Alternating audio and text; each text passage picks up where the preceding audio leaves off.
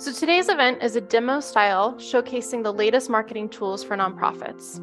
Next up, we have Matthew Montoya, Senior Channel, Channel Marketing and Enablement Manager at Cost, Constant Contact. In this role, Matthew has helped over 14,000 small businesses and nonprofits better understand how digital marketing can affect growth and what utilizing best practices can mean to the bottom line.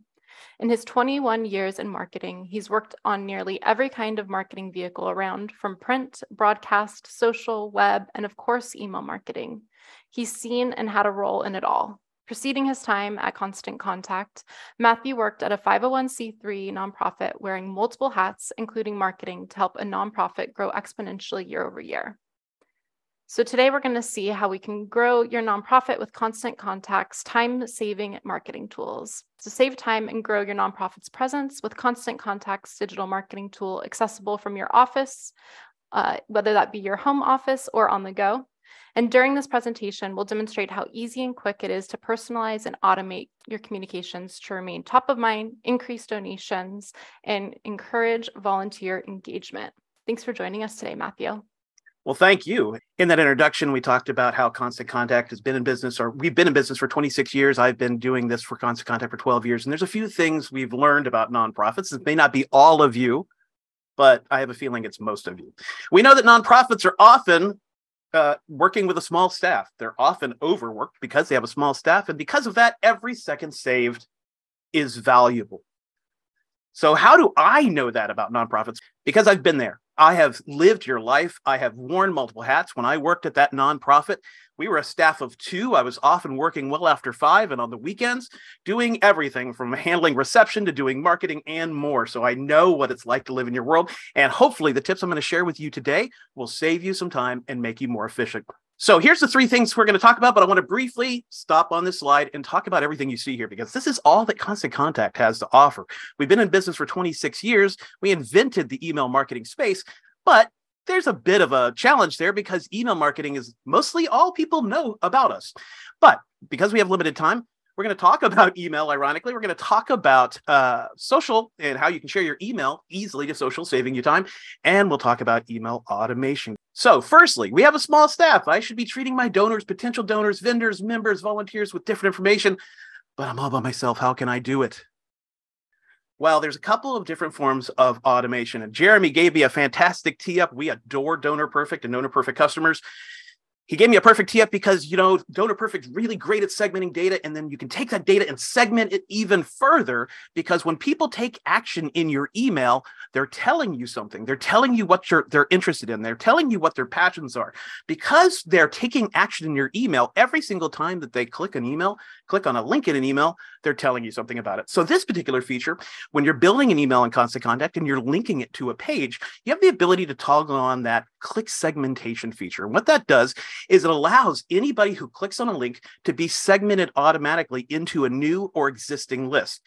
The benefit there is for follow up. You can actually have that group of people based on the subject matter they clicked on grouped together so that you can do follow up uh, about that particular subject matter. But let's take it a step further and let's talk about uh, some advanced segmentation.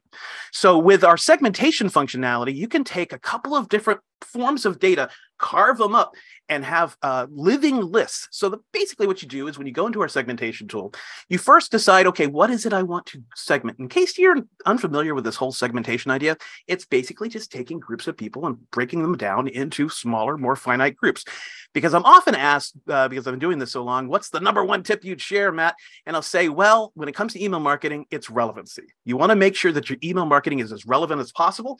And this is the way you do that. So in this example, maybe I'm going to choose first the contact activity. I want to see are these people regularly opening or clicking on links in my email, or maybe I want to look at uh, people that haven't regularly opened or clicked on links in my email. Second is maybe I want to drill down and I want to look at a particular zip code. I want to look at a particular uh, contact detail like uh, their their job title or the city they live in. And lastly, maybe I want to look on a specific list and pull that together. And so, as I said, this is like a living list because most people, if they use constant contact, they're used to sending to lists. But with segments, because you're pulling in this data, as that data comes in, as somebody meets the thresholds you built, you can send to segments.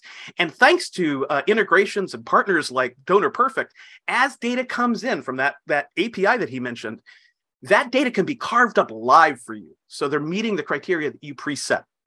I'm starved for time. I know how important it is to foster relationships, but I wear too many hats. Well, next we're going to talk about our social functionality. So this is often overlooked in Constant Contact. And what this will allow you to do is share your email either automatically or tailor it through our social media suite to Facebook, Instagram, Twitter, and LinkedIn. First, you just sync up your accounts. Second, you put in your message and the link for your email is already generated there.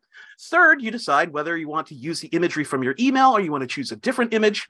Next, you're going to decide, okay, do I want to have variations across different social media platforms? And then I either decide to send this social media post now or schedule it up to a year in advance. I know that time is money. I have a small staff. What can I do? Automation.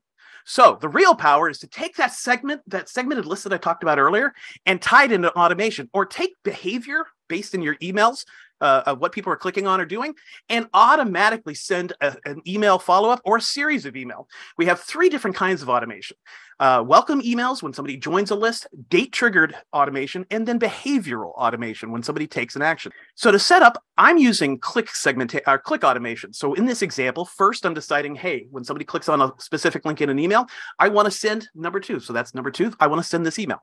Then I'm going to decide how long I want to delay the next email. Then I choose another email and I continue until I have a complete series built. Do you have to send a lot of emails? No, you can just send one, but this is a fantastic way to save you time. Now, I'm going to give you a sneak peek in the future really quickly. Our automation suite is about to be uh, incredibly grown up. So we are going to be moving into journey-based automation. You're seeing an example of this. You're one of the very first to see this. This is rolling out next month.